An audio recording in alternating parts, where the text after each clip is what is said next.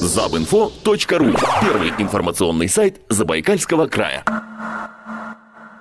Загорание произошло э, на втором этаже здания ЗАП- ЗАПГУ на факультете иностранных языков.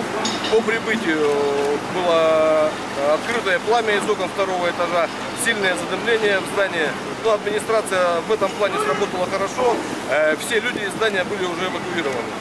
Э, В тушении был объявлен повышенный ранг пожара номер два. В тушении участвует э, 10 единиц основной и специальной пожарной техники, 40 человек личного состава. Кроме этого, э, тушение производилось звеньями ГДЗС, работало 7 звеньев ГДЗС. На тушение пожара было подано 8 стволов Б и 2 ствола А. В настоящее время идет э, пожар локализован, э, идет проверка терри- территории, Э, Проверка помещений, значит, стволы работают, как видите, на втором этаже, на третьем этаже. И заведены два ствола э, на крышу здания. Э, Погибших, пострадавших нет.